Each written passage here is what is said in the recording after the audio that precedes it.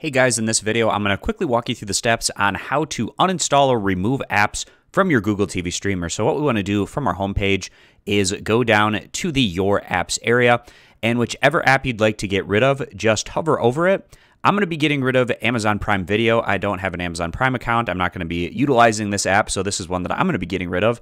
Hold down the select button for a handful of seconds on your remote. That's going to open up this menu page. And what we can do from here is go down and select where it says view details. This is going to take us over to this app's store page, and this is where we can uninstall it. So we can see right here we have the option to uninstall. So with our remote, we're going to go over and select the uninstall option. It's going to ask, do you want to uninstall this app? I do, so I'm going to click select on OK.